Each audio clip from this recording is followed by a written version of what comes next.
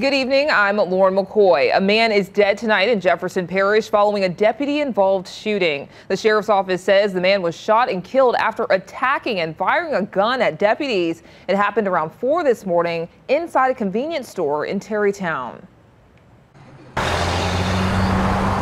The scene at Brothers Food Mart in the 800 block of Behrman Highway is much different now hours after what the Jefferson Parish Sheriff's Office says was a deadly encounter early Saturday morning. Our officers arrived here on the scene at Brothers Food Mart, which is back behind us, uh, in reference to a person requesting assistance. He had a, a, flat tire, two flat tires on the vehicle, and was uh, claiming that someone was chasing after him, trying to kill him. Sheriff Joe Lopinto says deputies tried to assist the man, even called a tow truck, before the situation took a dramatic and deadly turn. Back into the store and was causing additional disturbances inside the store uh, to the point where we were waiting for the tow truck and asked him that he had to leave the store.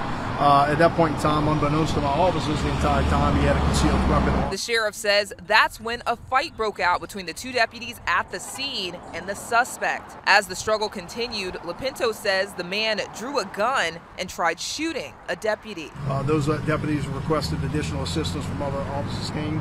Uh, the suspect came out of one of the bathrooms in the back uh, on several occasions, pointing the gun at deputies and then firing at least one shot, uh, which prompted a return of gunfire from one of my deputies here. The suspect, described as a man between the ages of 25 and 30, was shot dead at the scene. I know the question will be asked. Uh, many of my deputies, most of my deputies had their body cam activated, plus we have extensive video from inside the store. Uh, so we'll provide that, of course, when the investigation is complete.